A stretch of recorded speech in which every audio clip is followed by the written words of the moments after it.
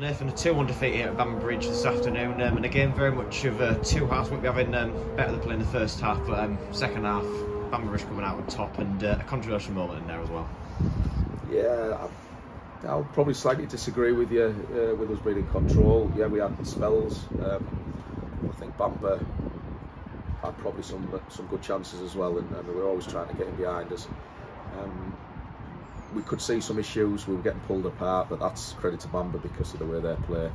Um, real expansive game, and you know the fact that Kelly had to come off with a dead leg and, and Priestley with illness, so we were having to make two changes at half time. And you know, as the game panned out with the goals going against us at the times they did and the sending off, you know, it was backs against the wall stuff. But the lads have worked the socks off. I can't, I can't say anything other than that. Um, you know, and a very, very good team, especially here.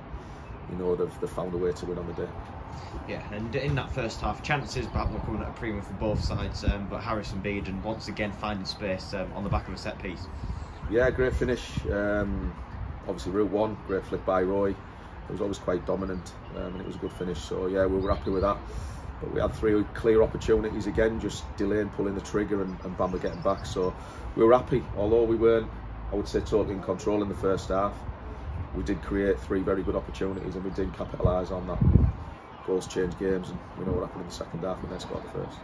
And uh, coming into the game as well, uh, you mentioned before the match about barring Nathan Pond for Bamber Bridge um, in terms of the height, so was set pieces something that you perhaps uh, look to try and uh, target this afternoon? Yeah, not necessarily. We wanted to go toe to toe. We believe that you know we're a good footballing side, and we wanted to match them. Um, as it was, you know, we just didn't get our distances right, and you know, it, it's it's what I would call us, for me, based on what we've been doing. We, were- we were substandard today in that area. Um, you know, we just it just wasn't clicking, uh, and Bamber was certainly better than us. But as the game went on, we had to go more route one with the big lads up top, because um, it was the only way we're going to get something out of the game with ten men. Um, but yeah, it, it, it is what it is on that one. And the equalising goal, um, disappointing in terms of how scrappy it was, and defensively, I'm sure a few things you'd like to pick up. Yeah, yeah, and I can pick at it. We know where we've gone wrong. Um, it's not really going to get me anywhere. It's you know from our point of view, real poor goal. Um, but again, you've, you've got to give Bamber credit because they've been pulling our back line around all afternoon. Um, and no matter how scrappy the goal was, Shane did really well. They've, they've managed to put it away. So you know sometimes that's how it gets, and you've got to give them a bit of credit. Yeah, and then uh, a few minutes later, Bamber Bridge getting a penalty and uh, sending off for Harrison Beeden as well. And it came on the back, really, um, that decision of a couple of challenges that were bookings that perhaps know, shouldn't have been. Um, but then as well, the sort of bit of controversy in terms of whether he should have actually been sent off or not. Yeah, well, I said earlier, Bamber were probing in the first half with those intricate forward balls between the lines, um, particularly on our, our last back line, and that's how it come about. They found to throw the ball through between the two centre halves. Uh, one of ours has missed it, threw one on one, and Harrison's probably touched him. Probably not enough, but clever play by them.